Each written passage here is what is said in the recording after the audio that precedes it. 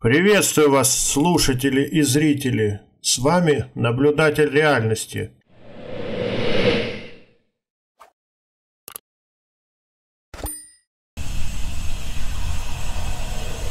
Сегодня мы рассмотрим такую интересную тему, как совместить духовное развитие и материальный успех. Ну, тема на самом деле волнует многих в том числе и меня, поэтому я и решил как-то разобраться в этом вопросе. Замечали ли вы, что в основном люди делятся на две категории? Одни стремятся к реализации в материальном мире, они думают о квартирах, машинах, бизнесе, доходном, отдыхе на Майорке. И таких людей большинство. Для других главное духовное развитие, и чаще всего они остаются нереализованные в финансовом смысле. И только немногочисленная группа, единицы, способны совместить в себе эти две силы – духовное развитие и материальный успех, гармонично продвигаясь в обоих направлениях. Ну что же может помочь нам уравновесить в себе эти две противоположные энергии и сбалансировать всю нашу жизнь? Ну, ответ можно дать такой – это личностное развитие. Для многих людей понятия личностный рост и духовное развитие взаимозаменяемые. А есть ли для вас разница между ними? Ну давайте подумаем. Вот какой категории вы отнесете, например, молитву? А какой работу над своими слабыми качествами характера?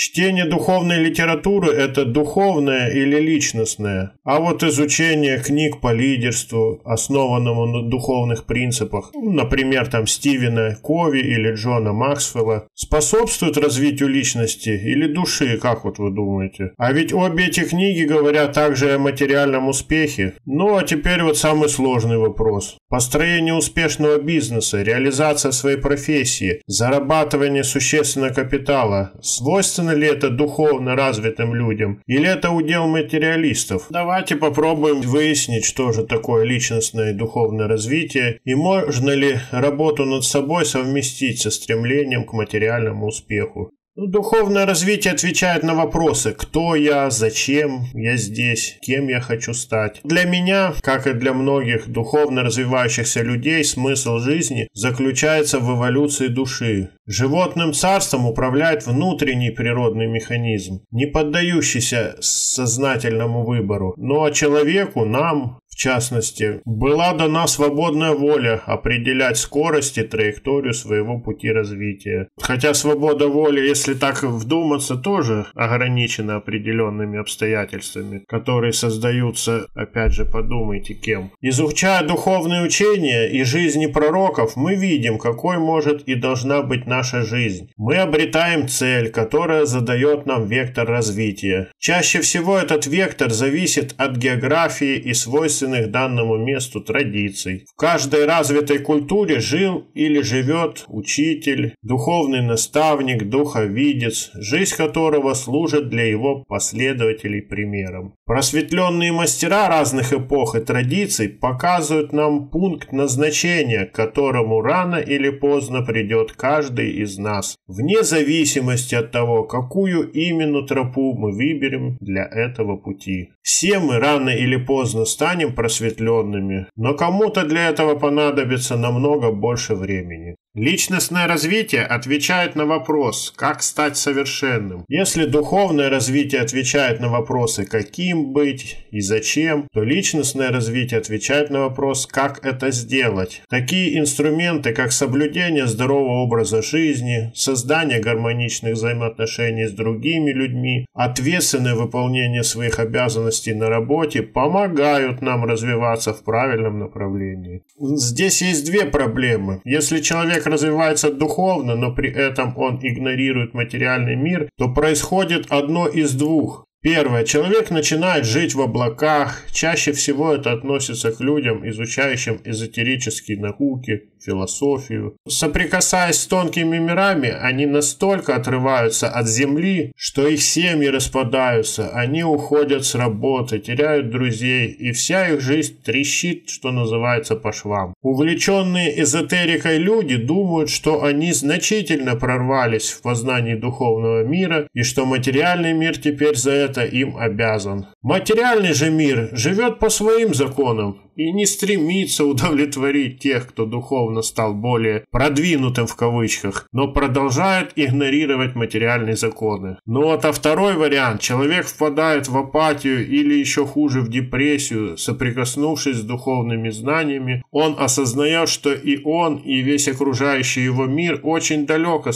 совершенства. Он перестает верить в то, что его жизнь может снова стать радостной и наполненной. У него опускаются руки, и на протяжении многих лет он не видит света в конце тоннеля. Так где же выход? Выход из обоих состояний – начать делать что-то для других людей, начать приносить пользу обществу. Даже современные ученые доказали терапевтическое воздействие благотворительной деятельности. Наша задача, развиваясь духовно, максимально эффективно использовать те таланты, с которыми мы пришли на эту землю. Что вы любите делать для других людей? Вы можете вести блог, кормить бездомных людей или лечить животных, помогать в просветительской деятельности человеку, который для вас стал учителем. Ну, вы также можете построить свой бизнес, который создаст рабочие места и даст возможность нескольким или даже сотням семьям заработать. Ну, это кто, так сказать, может. Возможности сделать этот мир лучше безграничны. Главное выбрать то, к чему лежит душа именно у вас. Иначе благотворительность перерастет в обязаловку. Ведь именно искренняя забота об окружающем мире позволяет нашей душе проявиться в материи. Когда мы работаем во благо других людей и получаем от этого удовольствие, наша жизнь наполняется смыслом и счастьем. Духовное первично. Духовное развитие всегда первично. Как известно, душа оставляет тело, а не наоборот. Все мы это знаем. Без духовного вектора люди могут преуспеть в достижении целей, в развитии своего бизнеса, но не установив связи со своей душой, они, достигнув всех своих материальных целей, становятся несчастными. Наверняка вы знаете истории мультимиллионеров, которые покончили жизнь самоубийством. Ну, или у многих там взять, например, Стива Джобса, развился рак, и они ушли из жизни. А ведь, как все мы знаем, рак развивается только у тех людей, которые крайне, у которых крайняя степень недовольства жизнью. То есть у них внутреннее состояние такое, что оно позволяет э, с тонкого плана запустить процессы разрушения тела. Именно вот запускается вот этот процесс раковых опухолей и метастаз.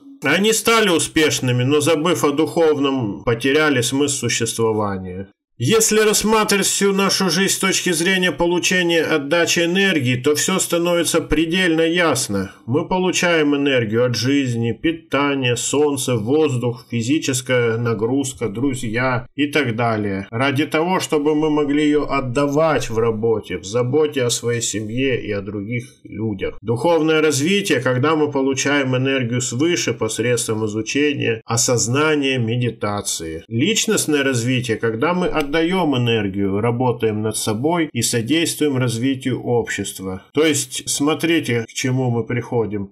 Духовное развитие мы получаем энергию свыше, личностное развитие, когда мы отдаем энергию. То есть должен быть баланс вот между этим, получением и отдачей. Материальный успех – результат правильного взаимообмена энергией с окружающим миром. Если мы достигнем этого баланса, поймем, как это действует, то при духовном развитии мы достигнем и материального успеха. Баланс духовного и материального. Сегодня как никогда каждому из нас необходим необходимо стремиться к равновесию духовного и материального. Ну, например, в Индии практически невозможно не подхватить какую-то болезнь, совершая паломничество или медитируя в ее ашрамах, потому что люди слишком глубоко погружены в духовное и забыли вообще начисто о материальности, чистоте, порядке, достатке, знаете, наверное. В США все наоборот, смыслом жизни стали власть и деньги, и общество стало глубоко несчастно в погоне за этими ценностями. Это вот как два примера дисбаланса развиваться. На примере этих стран мы видим, что перекос в одну или другую сторону ведет к деградации общества в целом. Задача лидеров сегодня – соединить и сбалансировать в себе эти две энергии, и потом передавать знания всем остальным. Научиться жить в гармонии с собой, максимально используя свои таланты на благо людей, одновременно получая достойную материальную компенсацию за свою работу. И при этом быть ориентированным на все более